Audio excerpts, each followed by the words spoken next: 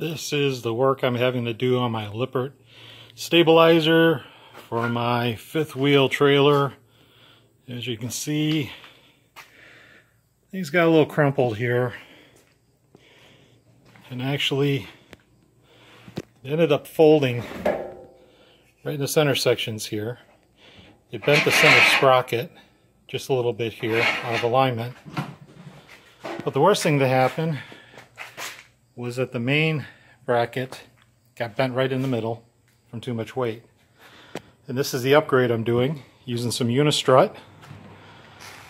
I place the Unistrut across the slide because what actually happens is these stabilizer legs slide back and forth and that's how they auto level themselves. They're not meant to really bear the weight of the trailer and that's kind of what happened. So by sliding these out of the track, there's the track right here.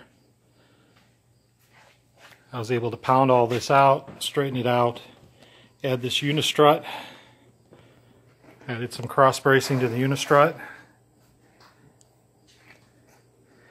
and then I'll be able to use the same mounting holes and put it right back up onto the trailer.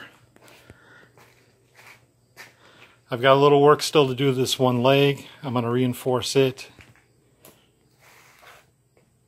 I'm going to get to work on that. A little more love, a little more pounding. And I channeled the piece of unistrut into the parking channel. This is the part that comes up when it, when it closes. So it's going to get in the way of it.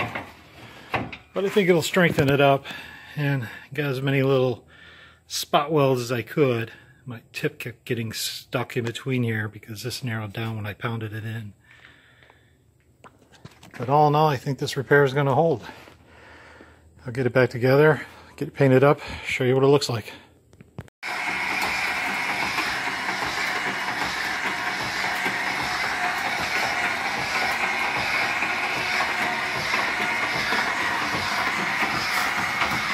Got to get back together.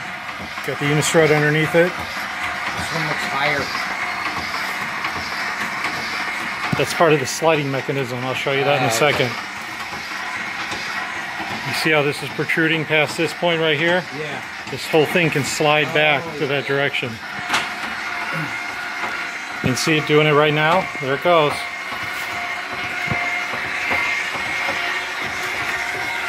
Ah, I see.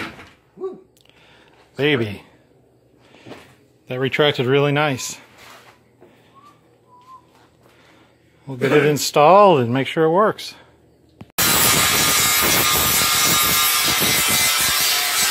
I messed up and I made my holes too small. I actually needed the slot length to go the width of the camper. So we're having to remove some metal out of there.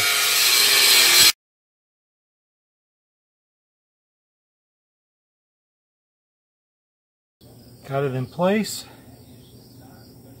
Just have to wrap up the wiring here a little bit. And we're good to go. Crank it down, lifted the rig right up off the ground, brought them back up, they seated nicely, then brought them back down again.